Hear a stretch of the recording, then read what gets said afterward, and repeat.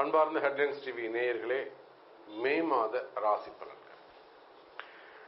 மே மாசத்தை பொறுத்தவரைலாம் first பிளானட்டுடைய position என்ன இருக்குன்னு பார்த்துடலாம் இந்த மாதம் சூரிய பகவான் ஃபர்ஸ்ட் பதினைந்து நாட்கள் உச்சமாக இருக்கிறார். ஆதித்யாதி நவகிரகங்களில் சூரிய பகவான் ஃபர்ஸ்ட் தலைமை பொறுப்பு ஏற்கக்கூடியவர் அவரே தலைவராக விளங்கக்கூடியவர். அவரை பேஸா வச்சுதான் பூமி உள்பட மற்ற எல்லா கிரகங்களும் சுற்றி வருகின்றன. அப்படிப்பட்ட அந்த சூரிய பகவான் இந்த மே மாதம் முதல் பதினைந்து நாட்கள் உச்சம் பெற்று மேஷ ராசியிலே உச்சத்தில் விளங்குகிறார். அந்த சூரிய பகவானோடு ராகு பகவான் இணைந்திருக்கிறார். சூரிய பகவான் நீச்சம் அடையக்கூடிய நீர் ஏழாவது ராசியாக இருக்கக்கூடிய துலாத்தில் கேது பகவான் அமைந்திருக்கிறார்.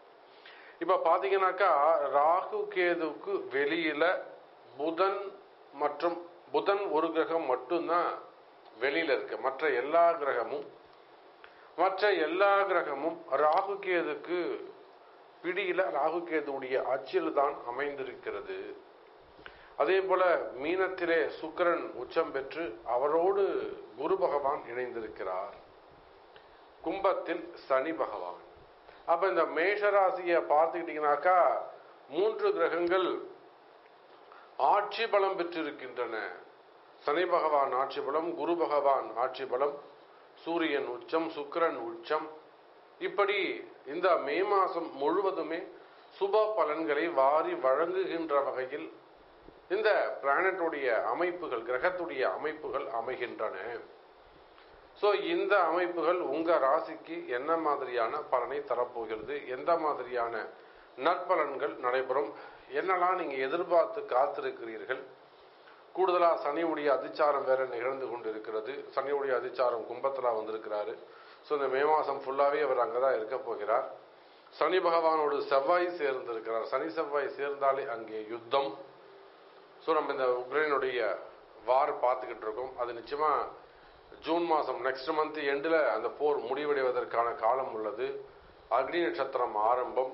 இப்படி பல விஷயங்கள் இந்த மே மாதத்தில் அமைந்துள்ளன. ஸோ உங்கள் ராசிக்கு எப்படி இருக்குது அப்படிங்கிறத பார்த்துடுவோம் வாருங்கள். அன்பார்ந்த கன்னி ராசி அன்பர்களே. கன்னி ராசி அன்பர்களே இந்த மே மாதம் ஒரு அதி அற்புதமான மாதமாக அமைகிறது. ராசிக்கு ஏழில் குரு குரு பகவான் நேரடியா உங்க ராசியை பார்க்கிறார். கூடுதலாக உங்களுடைய ராசி ஏழிலே சுக்கிரன் உச்சம் பெற்றிருக்கிறார். உங்களுடைய ராசிநாதன் அஞ்சு ஒன்பதாக அமைந்திருக்கிறார். ஒன்பதிலே உங்களுடைய ராசிநாதன் புதன் பகவான். அதோடு மட்டுமல்ல பனிரெண்டாம் அதிபதி உங்க ராசிக்கு பத்தாவது வீட்டு என்று சொல்லக்கூடிய உங்க ராசிக்கு எட்டில் பன்னெண்டாம் அதிபதி எட்டில் மறைகிறார். யாருங்க? சூரியன். கன்னி ராசிக்கு பன்னெண்டாம் அதிபதி சூரியன் அவர் எட்டாவது வீட்டில் மேஷத்தில் மறைந்து உச்சம் பெறுகிறார். மறைந்து உச்சம் பெறுகின்ற காரணத்தினாலே கன்னி ராசி அன்பர்களே நீங்கள் இதுவரையில் வாழ்க்கையில் சந்தித்திடாத ஒரு பெரிய மனிதர்களை சந்திப்பதற்கான நபர்களை சந்திப்பதற்கான வாய்ப்புகள் உண்டு. இல்லை நீங்களே ஒரு நல்ல ஒரு பெரிய பொசிஷனில் தான் இருக்கீங்க. நீங்களே ஒரு பெரிய ஹையர் பொசிஷனில் தான் நல்ல ரேங்கில் தான் இருக்கீங்க. ஒரு செல்வந்தராக இருக்கிறீங்க ஒரு பணங்காசு உடையவராக இருக்கிறீங்க ஒரு இமேஜ் உடையவராக இருக்கிறீங்க ஒரு தொழில் ஸ்தானத்தில் நல்ல ஒரு பிஸ்னஸ் மேனாக இருக்கிறீங்க. அல்லது ஒரு கமிஷன் அந்த ட்ரேடிங் சம்பந்தப்பட்ட விஷயத்தில் ஒரு உயர்ந்த ஸ்தானத்தில் இல்லை அரசியலில் மீடியாவில் சினிமா துறையில். அல்லது ஒரு தொழிலதிபராக இப்படி நீங்க எந்த பொசிஷன்ல ஹையர் ரேங்க்ல இருந்தாலும் உங்களை விட ஒரு டாப் லெவல்ல இருக்கக்கூடிய நீங்க சற்றும் எதிர்பார்க்காத வகையிலே உங்களை விட பெரிய அதிகாரிகளை சந்திப்பதோ அவங்க உங்களுக்கு சப்போர்ட் பண்ணக்கூடிய வாய்ப்புகளை இந்த மே மாதம் உங்களுக்கு பெற்று தருகிறது. கன்னிராசி என்பர்களே திடீர் அதிர்ஷ்டங்கள் ஏற்படும். திடீர் பண வரவு இருக்கும். அந்த திடீர் பண வரவனால நீங்க நிலைகுலைந்து சென்று விடுவது வழக்கம். அப்படியே ஆச்சரியப்பட்டுடுவீங்க. எப்படி இவ்வளோ தூரம் ஒரு இன்கம் வந்தது? எப்படி மற்ற மாதங்கள் இல்லாத மற்ற வருடங்கள் இல்லாத வகையில் எந்த மாதம் இப்படி ஒரு வருமானம் வந்தது என்று நினைத்து பார்க்கின்ற வகையில் கன்னிராசி அன்பர்களுக்கு இந்த மாதம் கை கொடுக்கக்கூடிய ஒரு பணவரவு தனவரவு அமைகிறது. கன்னிராசியை பொறுத்தவரையில் ஒரு அதிர்ஷ்டமான மாதமாகவும் அதே சமயத்துல பல சாதனைகளை படைக்கக்கூடிய ஒரு மாதமாகவும் அமைகிறது. இதனால வரையில் நான் இந்த வருடம் இந்த மாதிரி ஒரு செயலை நான் செஞ்சதே கிடையாது. இதை நான் இப்போ ஒரு இந்த மாதம் ஒரு பெரிய அச்சீவ் பண்ணியிருக்கேன். ஒரு பெரிய ஜாப் எடுத்து ஒரு பெரிய ப்ராஜெக்ட் எடுத்து நான் அதை வின் பண்ணி காமிச்சிருக்கேன். ஒரு பெரிய ஈவெண்ட் எடுத்து நான் ஒரு பெரிய ஈவெண்ட்டாக நான் அதை செய்தேன். அந்த மாதிரி கோடிட்டு காட்டுகின்ற வகையில் உங்களுடைய செயல்பாடுகள் அமையும். கன்னிராசி அப்ப நல்ல முன்னேற்றம் இருக்கும் வருமானங்கள் இருக்கும் தொழில் வாய்ப்புகள் இருக்கும் மன நிம்மதி இருக்கும். அதே போல கன்னிராசிக்கு இருக்கக்கூடிய கடன் சுமைகள் கடன் பிரச்சனைகள் விலகும். உங்களுக்கு இருக்கக்கூடிய கடன் பிரச்சனைகள் இருக்குமே ஆனால் அந்த கடன் சுமைகள் எல்லாம் குறைவதற்கு பேங்க் லோன் சம்பந்தப்பட்டது வெளியில வட்டிக்கு வாங்கினது இன்ட்ரெஸ்ட்டுக்கு வாங்கினது வாங்குற இடத்துல கொடுக்க முடியாம இருக்கிறது இல்ல நீங்க நினைச்சதை சாதிக்க முடியாம இருக்கிறது ஸோ இந்த மாதிரியான தடைகள் இருக்குமே ஆனால் அந்த தடைகள் விலகும் கன்னிராசி என்பர்களே அதுக்கு அடுத்தபடியா பார்த்தீங்கன்னாக்கா அரசியலில் ஈடுபட்டிருக்கக்கூடியவர்கள் அரசியலை பொறுத்தவரையில் கன்னிராசி என்பவர்களுக்கு அதிர்ஷ்டம் நிறைந்த மாதமாக அமைகிறது. சற்று கவனமாக நடந்து கொள்ள வேண்டும். எட்டாம் அதிபதி செவ்வாய் பகவான் உங்க ராசியில் ஆறாம் இடத்தில் சனி பகவானோடு இணைந்து மறைந்து இருக்கிறார். கன்னிராசிக்கு இந்த மாசம் ஏன் ரொம்ப கிரேட்டா இருக்கும் ரொம்ப சக்சஸ்ஃபுல்லா இருக்கும் ரொம்ப அதி அற்புதமாக இருக்கும் என்று சொன்னால் பன்னெண்டாம் அதிபதி எட்டுல மறைஞ்சிருக்கிறாரு. எட்டாம் அதிபதி ஆறில் மறைந்திருக்கிறார். ஆறாம் அதிபதி ஆறிலே அமைந்திருக்கிறார்.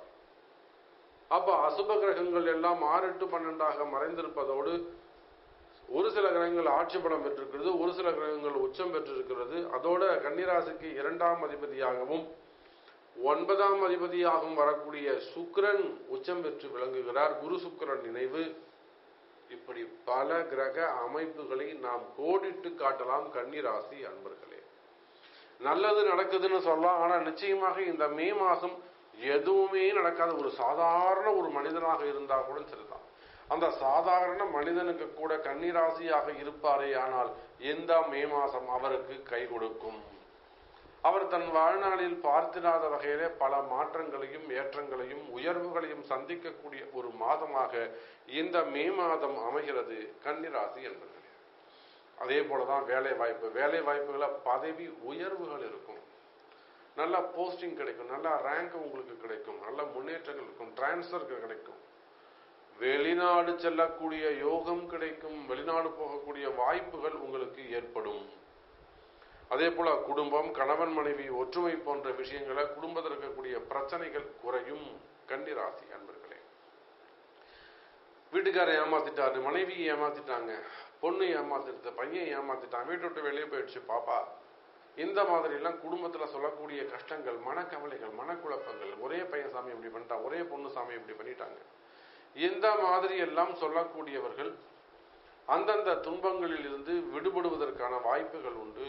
கன்னிராசி அன்பர்களே. அப்ப பிரிந்த உறவுகள் பிரிந்த பந்தங்கள் பிரிந்த சொந்தங்கள் மீண்டும் ஒன்று சேருவதற்கு வாய்ப்புகள் உண்டு. அதே போல திருமண யோகம் குழந்தை பாக்கியம் காதல் திருமணங்கள் காதலுக்காக காத்திருக்கக்கூடியவர்கள் இவங்க எல்லாருக்குமே நல்ல பதில் நல்ல ஆன்சர் வருவதற்கான வாய்ப்புகள் உண்டு. என்கிட்ட பேசவே மாட்டுறாங்க நல்லா பழகிட்டு இருந்தோம். நாங்க பிரிஞ்சிட்டோம். இந்த மாதிரிலாம் சொல்லக்கூடியவங்களுக்கு கூட நல்ல நட்புறவு ஏற்படுவதற்கு வாய்ப்புகள் உண்டு. எப்படி பார்த்தாலும் கன்னிராசிக்கு இந்த மே மாதம் ஒரு அதிர்ஷ்டமான மாதம் என்றும் சொல்லலாம். அன்பு பக்த கொடிகளே எல்லாம் வல்ல நம் அன்னையாக விளங்கக்கூடிய வாராகி தேவிக்கு வாராகி ஆலயம் கட்ட வேண்டும். அதிவிரைவாக மிகப்பெரிய அளவில் வாராகி ஆலயம் கட்ட இருக்கின்றோம். அதற்கான இடம் நம் தமிழ்நாடு முழுவதும் தேடிக்கொண்டிருக்கின்றோம்.